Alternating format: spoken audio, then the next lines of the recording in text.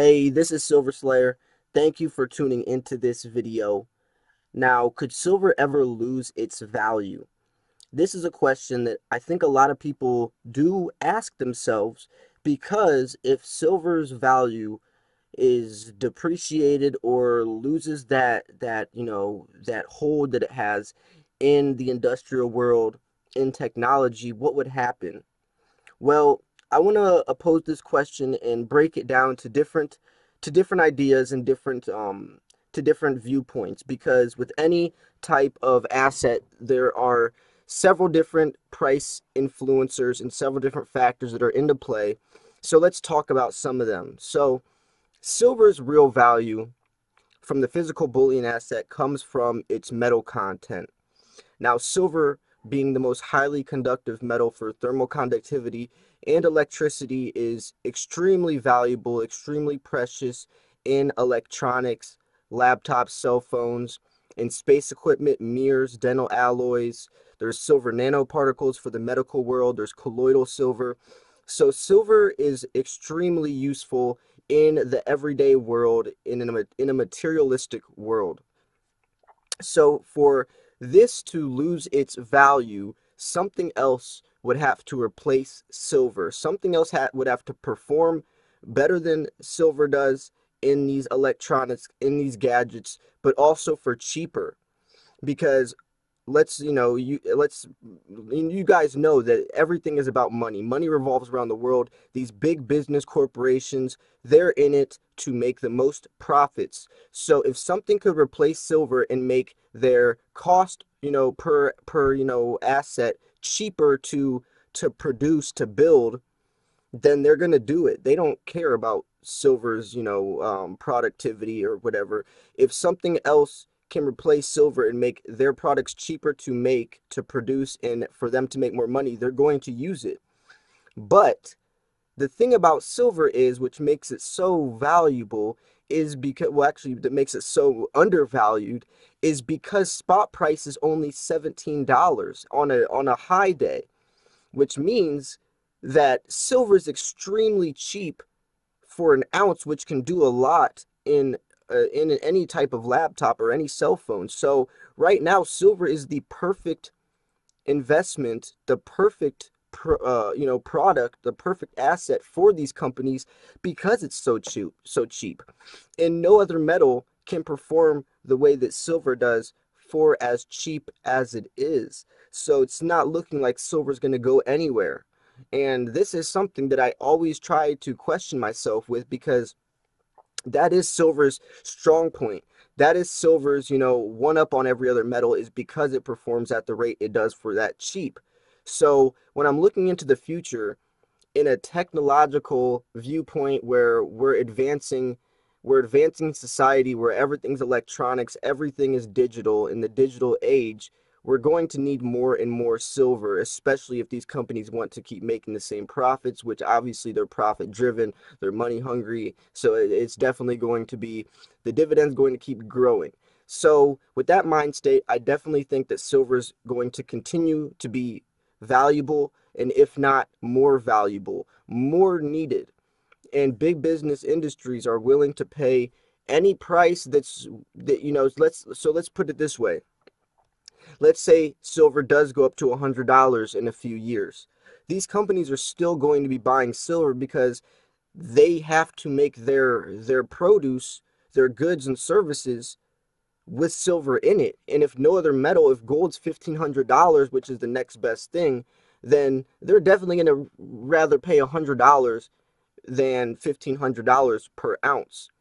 Now let's also flip it and look from the consumer mind state. We need, well, we don't need, they need, we hope that they keep using silver because that's keeping our gadgets, our cell phones, relatively cheap. If another metal was replaced with silver that costed more money, they're going to have to boost the price up, which means the retail value which we have to pay would also be boosted up as well.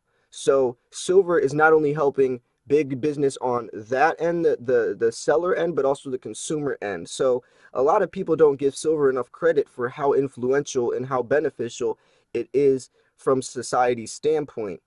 Now there's also other other alleyways we can we can you know go down when it looks when we're talking about silver's you know um about silver's price or I guess rather its future longevity.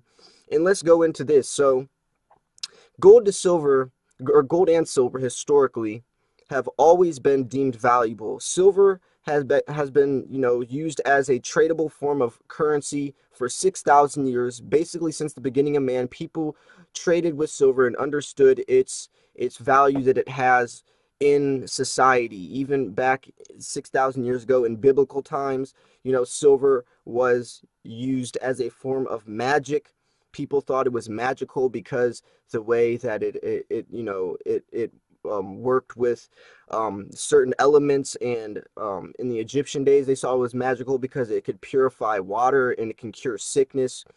So looking forwards, we're only going to keep finding out, keep creating more beneficial uses that silver has and other things that it can it can be used for, meaning that its spot at its spotlight where its main focus is its main you know um, factor of importance is is only going to keep growing bigger not decreasing. So i only see silver's importance growing more relevant in the world. Now i've made videos talking about how much silver is produced every year worldwide. I've made videos talking about why we need this much silver i've also made videos talking about you know what is all this silver used for um, so I I really want to when I did that little study that 3-day period that 3-day period of all that research, you know, breaking down how much why is it used for that, you know, where is it going? Um, it, it really showed me on a large scale uh, perspective how realistic and how um, I guess just how relevant silver is in the everyday world. It was actually it was that that study I did was actually mind blowing also it was interesting to see some of the the statistics that came along with it. When i read that one statistic saying that only 1% of people that invest in silver is for the physical bullion meaning 99% of people that invest in gold and silver is from the paper side of it silver etfs which is missing the whole important you know it's missing the whole point the whole silver's entire value comes from its metal content and if you're not investing in the metal content of it you're missing the literally the whole point of investing in silver and gold. So that shows me right there that a lot of people aren't educated on you know the the values that silver can bring to the table. Now there's also a part of this video we can take comparing silver ETFs, the paper side of it compared to the bullion side, and asking or I guess opposing the question, how much of those of the of these you know prices or how much of these markets influence each other.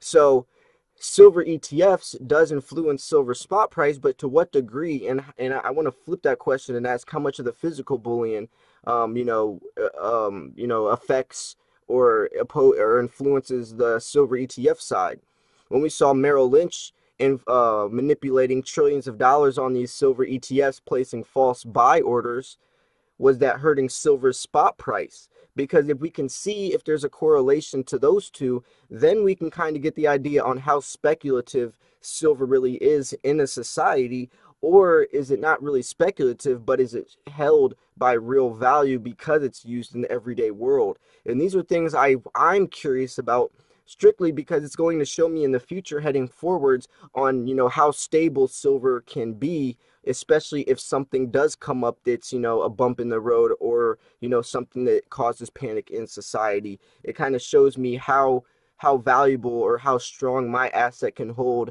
during a tragic event.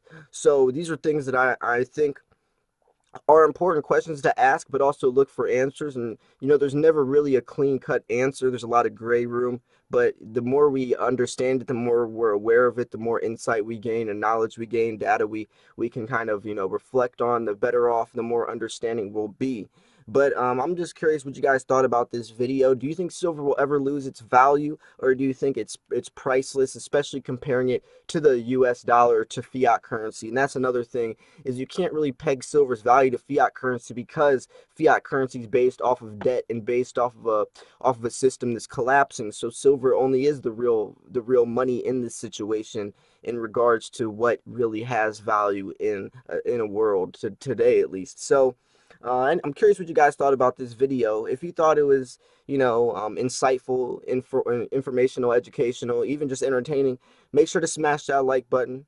Subscribe if you are new. I post daily videos, posting two to three videos a day, so stay tuned for that.